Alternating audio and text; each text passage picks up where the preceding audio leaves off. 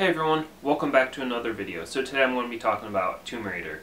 In the beginning of the movie you have Lara Croft. Her dad would uh, basically go around searching for stuff and so Lara's dad would be away for a while. Lara doesn't use her inheritance, so basically her dad has is presumed dead. And so basically she gets in trouble because she joins a gym and can't pay for it and then also it's like so she ends up doing some type of race. She gets in trouble because she ended up hitting a cop car.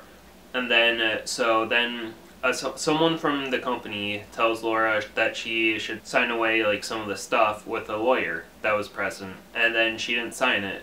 So she went back to her uh, house where she grew up and saw where her dad's tomb was, and basically she goes down. It's like there was a video camera that said you should uh, burn everything from Trinity, everything, no matter what.